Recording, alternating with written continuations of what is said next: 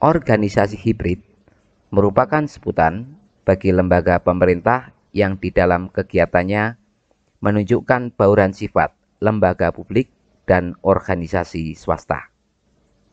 Semakin ke sini, semakin banyak pemerintah yang menerapkan mekanisme di dalam menjalankan kebijakan publik. Organisasi hibrid lebih sulit untuk dikendalikan karena berperilaku menyerupai organisasi yang terikat oleh regulasi bukan perpanjangan lembaga administratif.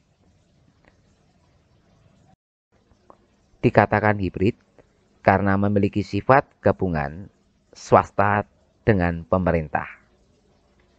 Dari gabungan sifat ini muncullah frasa kunci akuntabilitas publik dan efisiensi swasta.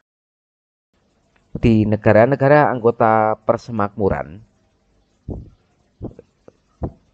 organisasi hibrid memiliki istilah sendiri, yaitu Ghost. Terdapat uh, sebuah kelompok yang misterius dalam tanda kutip dari organisasi hibrid transnasional seperti Bank Dunia dan IMF. Keduanya dibiayai secara publik oleh banyak negara, namun menjalankan tugas fungsinya sebagai lembaga semi swasta.